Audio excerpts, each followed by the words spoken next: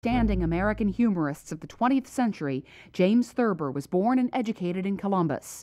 He launched his writing career as a reporter for the Columbus Dispatch in 1920.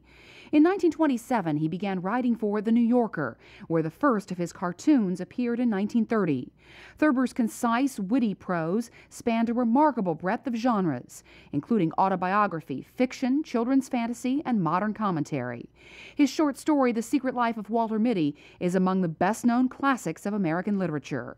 Though hampered by failing eyesight, Thurber published almost 30 books. He and his family lived at 77 Jefferson Avenue from 1913 to 1917.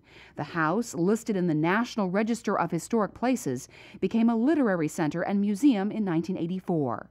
Thurber is buried in Columbus's Green Lawn Cemetery.